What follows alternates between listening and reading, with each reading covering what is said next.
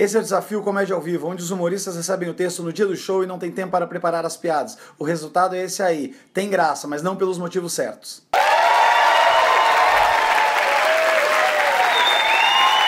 Caraca! Que bom que vocês vieram, gente. Boa noite.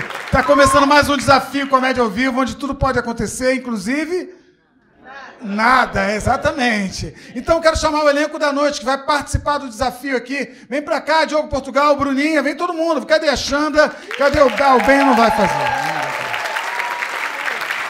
Bom, são os nossos três desafiantes. É, segura aí um pouquinho o violão, foi mal, viu? É, deixa aí, eu vou usar também, eu vou usar um pouquinho no desafio. Pode deixar aí, é, é, com você. E agora eu vou explicar quais são os temas escolhidos para o nosso desafio. Por isso que eu vim com esse óculos aqui de senhor. Bom, primeiro é o seguinte: é uma, uma mulher que na internet, para vocês entenderem, ela era lutadora de MMA de UFC, essas coisas assim, essas lutas agressivas, e ela abriu uma página no OnlyFans, uma página tipo OnlyFans, para começar a se mostrar e tal, fazer aquilo que o OnlyFans faz. O que, que aconteceu? A, a, a federação expulsou ela do esporte. E aí ela começou uma nova profissão na internet, que é avaliar o pênis da pessoa, uma avaliadora de piroca. Não, isso é que vocês ouviram. Ela está ganhando rios de dinheiro avaliando a piroca. Inclusive, eu pedi a avaliação assim da turma aqui e tal. Do Portugal, ela mandou para mim com o maior carinho. Falou: ah, o pênis é meio de ancião que não aguenta mais. Nota 5. É... Do Benlude, ela falou micropênis, não entendi, com sintoma de sífilis. E o meu, ela botou, eu nem tinha lido, agora que eu estou vendo aqui, deixa eu ver o que ela falou, grande, belo, lustroso. Com vez protuberante e uma cabeçorra simétrica. Tem notas de madeira e frutas avermelhadas. Olha aí, ó. Ai, ai. Eu também já avaliei, afinal de contas, quem nunca avaliou uma piroca, né? A gente que é homem, a gente é meio manjarrola, né? É, porque tem a coisa da comparação, que é uma coisa mais escrota do mundo, comparar, velho. Primeira coisa que você reparar se o cara é manjarrola, a partir de hoje vocês já vão saber, homens. Tem um mictório aqui, um cara mijando. Tem vários livros. Se o cara mijar do teu lado, certo, do teu lado, é manja-rola, é manja-rola. Tem que pular pelo menos um mictório para manter o respeito, entendeu? E outra coisa, tem um macete para você manjar-rola, que eu desenvolvi esse macete junto com o Rodrigo Capela, que é o seguinte, o cara tá, tá ali mijando, você quer, pô, você quer dar uma olhada para saber se, né, se a rola do cara é maior que a tua, se a rola tá lustrosa, tá maneira. Você não pode olhar assim. Pô, fica um negócio muito feio. Então, o que, que você tem que fazer? Olhar perdido para o infinito distante. Você vai olhar para o infinito distante, mas a cabeça passa pela piroca e olha, entendeu? Então tu tá aqui mijando, tipo assim, você está aqui mijando, tranquilo, mijando, aí bateu a curiosidade, você vai fazer o quê?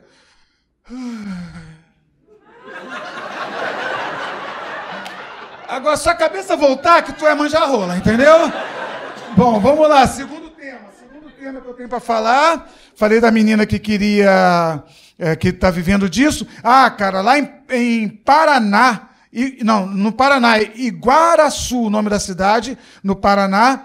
Um, um jovem, sei lá quem, para poder zoar o prefeito, fez um campeonato de punheta e botou, e botou patrocínio Prefeitura Municipal de. Eu achei isso genial, velho.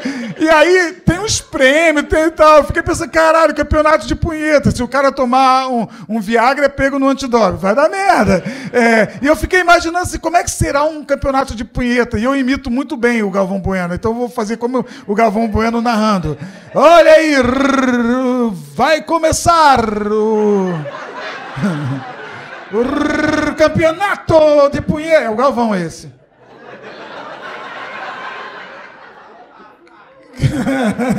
Campeonato de punheta, olha aí, Mariquinha Maricota, com a direita com a canhota, olha aí eu, não sei o quê. Eu não sei imitar. A modalidade, tem modalidade, olha só. Gozo rápido, gozo mais longe e gozo ao alvo. Até para quem já viu de tudo, não, não, nunca viu isso aí. Desculpa, Aguinaldo. Ah, eu fico pensando se a moda pega, é, pega né? Rita Cadillac de jurada, né? O Alexandre Frota, com o nosso principal competidor. Imagina, representando o Brasil aí. O negócio é o seguinte. Tá valendo, pode soltar o tempo aí. É, essa tá parecida, não dá? Tomar no cu, tá assim.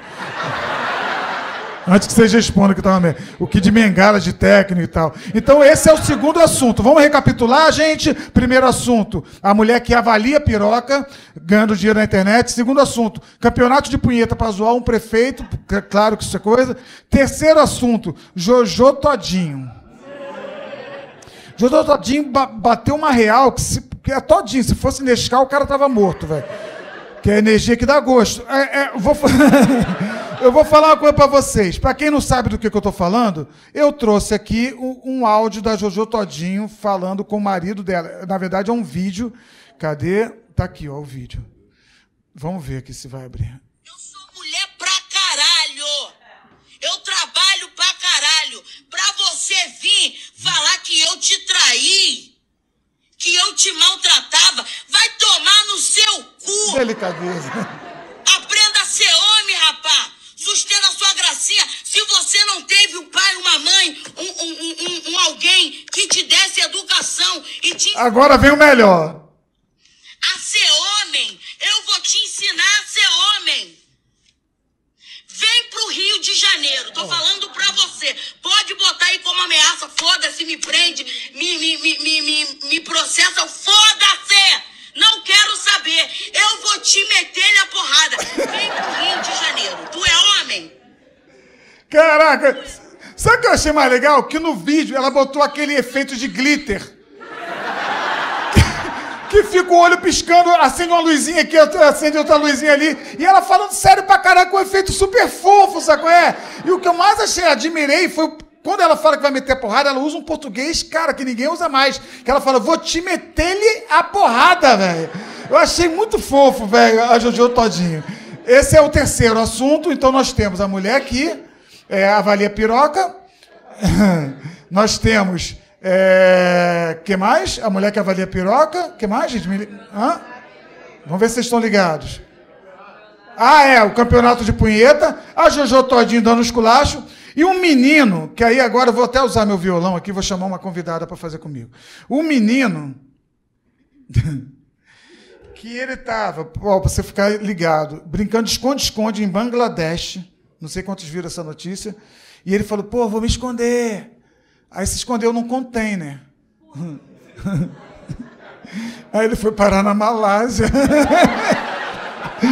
Muito filho da puta, moleque. Seis dias depois ele foi encontrado. Ele ganhou o pique. É, ele ganhou o pique esconde. Não, ganhou. Ele foi o que se deu melhor.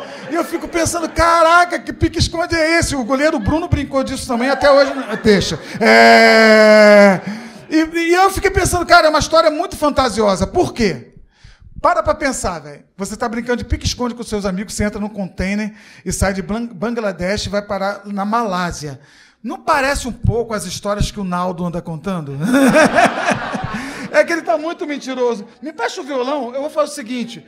O, o, porque a, só para ter uma, um link, o Naldo anda mentindo muito, tipo essa história mentirosa do, do container. E eu fiquei impressionado assim, com as mentiras do Naldo. Eu, a última que ele contou foi que o uísque com água de coco ele fez para Tom Jobim e Gal Costa cantarem junto.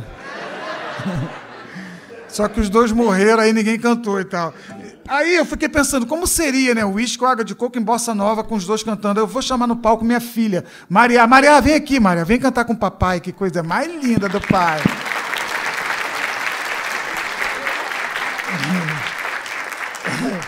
Ai, Mariana tem 26 anos, mas não sabe de tudo ainda não. Não viu de tudo ainda não.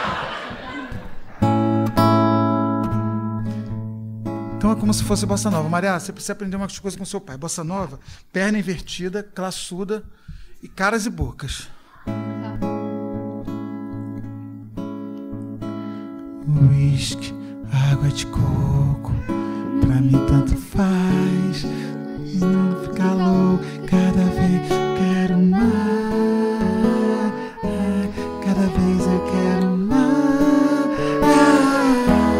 Maria, é, seria legal se você fizesse assim nessa hora. Tá. Que é a coreografia dele. Vodka ou água de coco, pra mim tanto faz. Cheio de tesão cada vez. Cheio de quê, Maria, que você tá? Não. Ando cheio de tesão e cada vez quero mais. Cada vez eu quero mais. inglês, inglês. One, two, three, four. Joga a mão pra cima e vai terminar no alto. E aí começam os improvisos da bossa nova. Em cima, em cima, em cima, e da da da. Em cima, em cima, e baba bomba, deda, deda, oba, da. Em cima, em cima, em cima, em cima. Já viu de todo oraba, de tudo oraba. Cima, cima, cima, cima. Uísque ou água de coco te dava toda devagar. Pra mim tanto faz.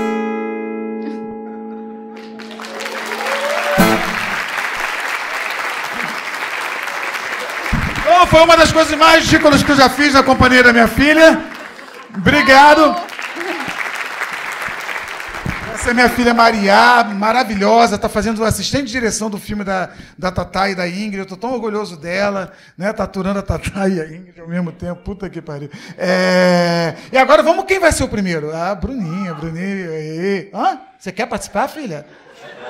Com vocês, Bruna Louise! Obrigada, gente. Olha, queria começar comentando do caso da Jojo. É, hoje teve vídeo o dia inteiro da Jojo brigando com esse ex dela. Teve uma parte do vídeo que o Marrom não mostrou, que a Jojo fala assim: A minha avó sempre me falou: seja uma puta em casa e uma dama na rua. Gente, a minha avó sempre me falou pra usar casaco. Eu já fiquei meio em choque com esse conselho. Minha avó tava fazendo polenta lá em Curitiba, sabe? Ela jamais me falaria um negócio desse. E esse conselho é um conselho, mulheres, confuso pra gente. Porque seja uma dama na rua e uma puta em casa. Mas se ele me pede boquete no elevador, eu fico confusa. Outra coisa, a Jojo estava indignada. Ela falava assim: "Você não é homem. No sexo, eu pedia pra você me enforcar e você falava que não podia me enforcar porque eu sou uma princesa". Gente,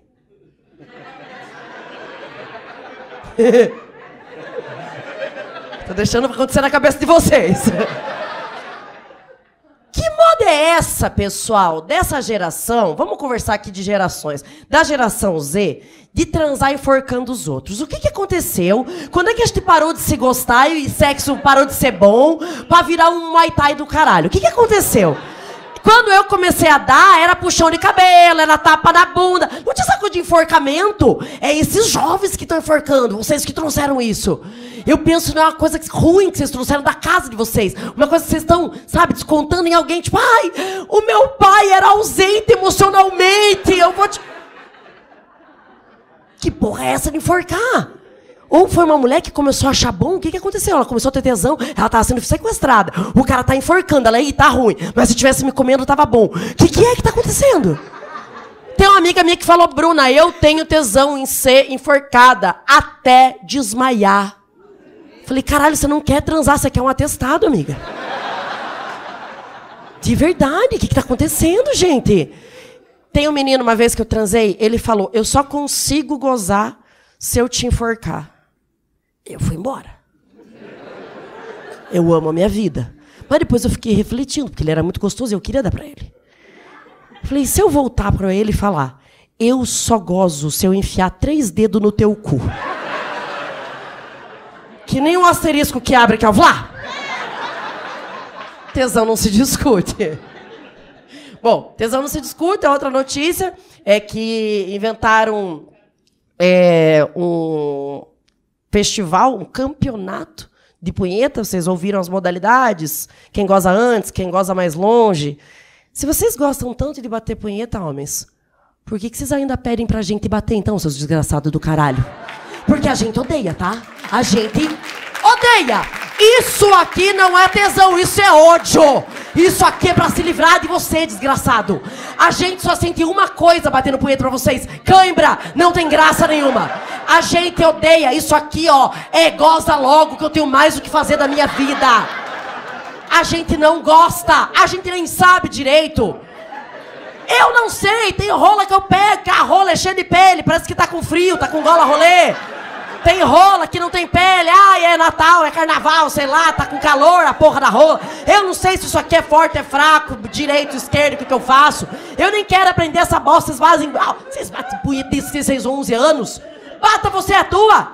Faz teus campeonatos, me deixa em paz, otário. Eu não fico, ah, gente, não existe uma notícia na história da humanidade de uma mulher que foi vista no metrô esfregando priquito no ombro do cara, falando, bate uma siririca pra tua tia aqui, nenê. Vocês que fazem isso, caralho. Isso é pra fazer campeonato, mulherada? Vamos fazer campeonato de siririca. Bora! Divide em duas modalidades, a analógica e a digital. Vai! Vai, analógica, um dedo no cu, anal, bora! Mulheres, só pro digital, eu queria só dar um conselho. Não fica mais de duas horas e meia com o vibrador enfiado. É, dá curto, sabe? Uma experiência que eu tenho assim, que você sai dando choque nas pessoas. Nunca achei que eu ia andar na minha vida assim, ó.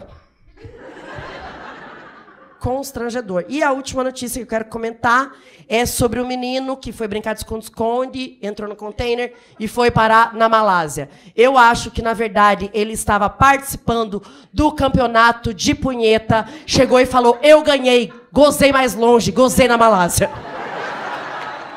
Muito obrigada, senhoras e senhores.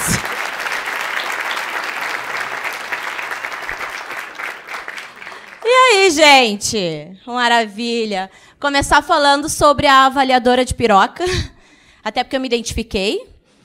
Eu achei a profissão muito visionária, porque essa mulher tá ganhando dinheiro para fazer uma coisa que a gente já faz de graça, né? Vocês acham que, menino? Você manda uma foto pra gente dar rola a gente não encaminha pra ninguém? A gente avalia em grupo. Inclusive, eu tenho um grupo com as minhas amigas que chama Naja Gaúcha. O restante é com vocês. Eu achei ótimo essa mulher aí, sabe? E eu acho que se eu tivesse recebendo pelo menos um real para cada nude, para cada rola que eu ganho, gente, no direct do Instagram eu já tava rica, viu? Porque é muita rola. Esse tempo o cara me mandou uma rola com vitiligo. Eu apelidei de napolitano. Achei bem uma rola bem verão, assim, sabe? Achei interessante. Outra vez um americano pegou e me mandou a rola com o saco, o cara tinha uma bola só. Apelidei de One Ball. Porque eu sou bilíngue.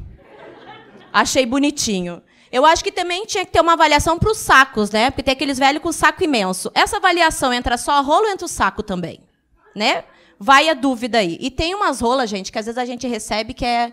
Parece que precisa de uma harmonização ali na área, né?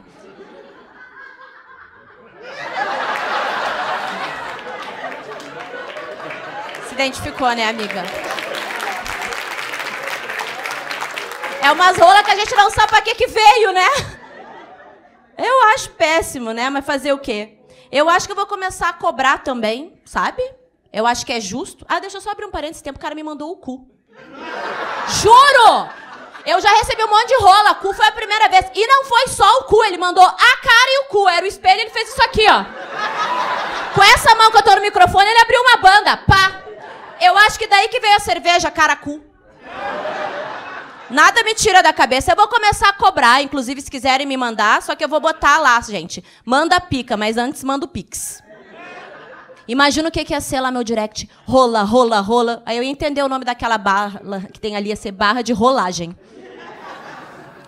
É, ia ser horrível mesmo.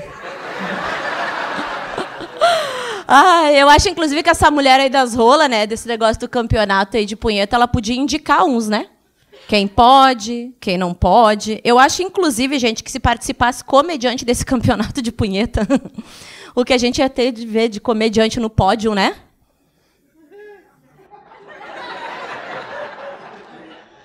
Mas só os casados, viu, Diogo? Quebrou os caras, né, gente? Ia ter uma galera. Achei puto. Vocês viram que o prefeito ficou puto? Porque a pessoa que trollou isso pegou e botou o telefone do gabinete da prefeitura. O prefeito ficou indignado. É muito quinta série. Eu faria uma coisa dessas. Eu achei ótimo. Achei que o prefeito não tinha que ter ficado puto, não. Porque a gente tá acostumado com o político botar no cu da gente, não tá? Agora, quando a gente quer saber quanto que esse político aguenta, eles ficam ofendidos.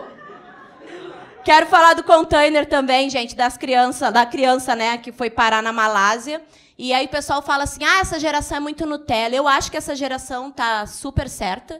Antigamente a gente brincava de esconde-esconde e acabava ali. Essa criança começou a brincar de esconde-esconde e quase terminou sendo o menor aprendiz fazendo tênis da Nike lá. Não é? Visionária!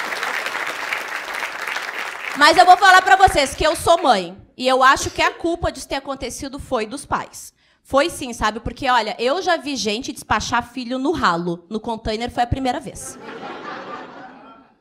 É, sim. Vamos lá. Outra que tem é da Jojo, né? Ai, da... gente, a Jojo. Eu odeio a internet. Porque me traz notícia da Jojo e do Gabriel, que nem sabia que Gabriel era o marido dela, né? Ela veio, ele veio fazer fofoca. Ai, porque a Jojo mete o pau em todos os artistas. Sim, querido. Porque o que era pra estar você metendo pau nela, você não mete, né? Não é, moça? A culpa é dele. Eu acho, inclusive, isso. Estava lá fazendo harmonização facial, em vez de botar a rola nela. E aí ela ficou, ah, porque se bater nele, se não sei o quê, bababá. Eu, eu não vou passar pano pra Jojo, não, assim. É, até porque a quantidade de merda que ela fala e ameaça, eu, eu não sou dona de confecção, né, gente? Ia ficar difícil. E o pessoal... É, essa foi péssima. E a Jojo ficou reclamando também lá é, que, a, que ela queria engravidar e que a. o- como é que ela botou? O leite dele era azedo. Vocês não viram, gente? O leite azedo. Me lembrou a minha avó, que nem a Bruna falou ali. Do leite azedo, o leite é quente. é, e que o leite dele era azedo e que a rola era murcha, que ela não conseguiu engravidar. Então vocês se preparem, que eu acho que agora vai vir um novo hit. Que tiro não foi esse. E é isso, gente. Ei, galera! Porra, campeonato de punheta, os caras tudo iam se identificar aqui, não ia? Hein? Porra, eu já tô com 54, venho treinando desde os 12. Era eu e o Marcelo D2, a procura da batida perfeita. Mano, eu- quando eu tinha uns 12, acho que eu fazia. Eu tocava tanta punheta, meu pau parecia um joystick, tinha marca assim dos dedos. A prefeitura, eh, eu, eu vou ler aqui, porque obviamente que eu não decorei as piadas, mas a prefeitura diz que não era responsável por porra nenhuma. diz que eu...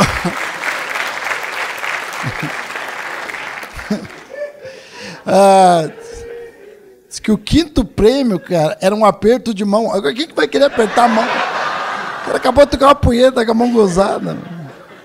Uma das categorias é gozo rápido, né? Caralho, cara. Quem goza mais rápido não devia ser vencedor, vocês concordam? Pelo menos a minha mulher me chama carinhosamente de Usain Bolt. né? O prefeito disse que não foi organizado por ele, mas sinceramente eu não duvido mesmo, né? Porque os políticos é assim que eles fazem, né? Tipo, fazem sacanagem toda quando descobre, eles falam que não tem nada a ver, né? E a minha mulher me pegou tocando uma. Eu falei, calma, amor, tô só treinando pro campeonato.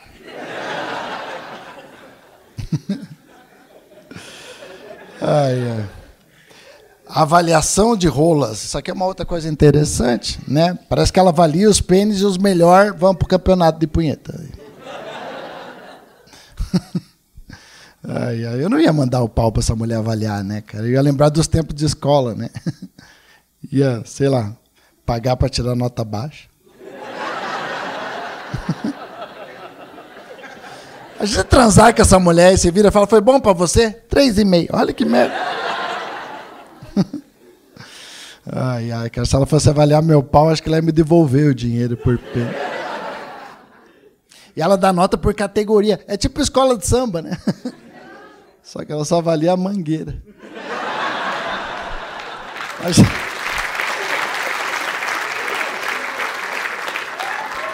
Imagina ela avaliando. Marcelo Marrom. Dois e meio.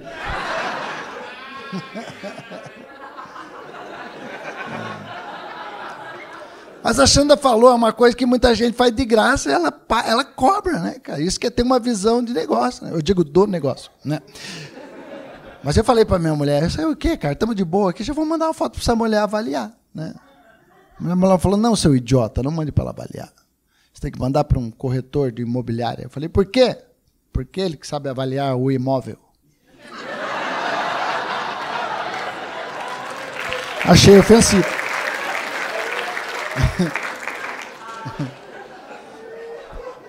Aí o moleque se escondeu nos containers. Caraca, esse cara tá de parabéns, né? Ganhou o campeonato de esconde-esconde, né? O, o Lázaro deve ter falado, porra, foda esse cara.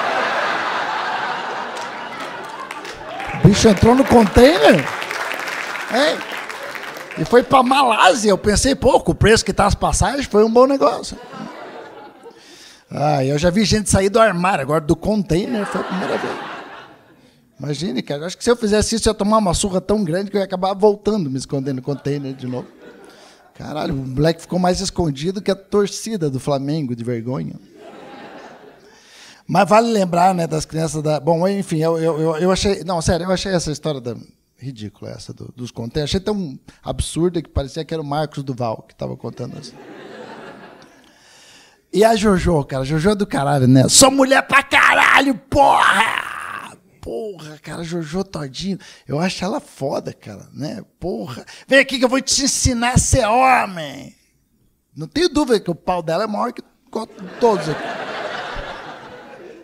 Eu não tenho medo dela me bater, eu tenho medo dela sentar em cima de mim. o cara falou que a Jojo traiu ele. Lógico, cara, melancia a gente nunca come sozinho.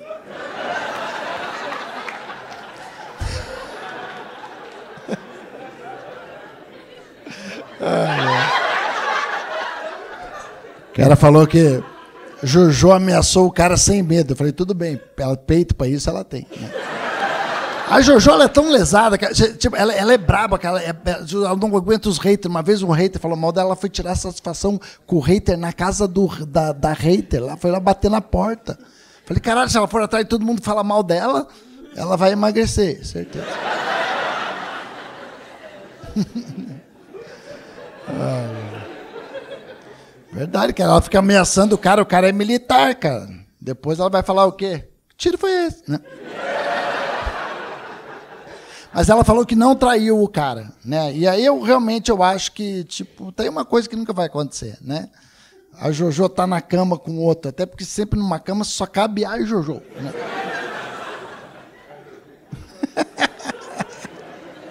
O advogado tá só pegando ali para me processar. Você acha que os gordinhos estão sofrendo tanta pressão? Ou estão reclamando de barriga cheia? né? É...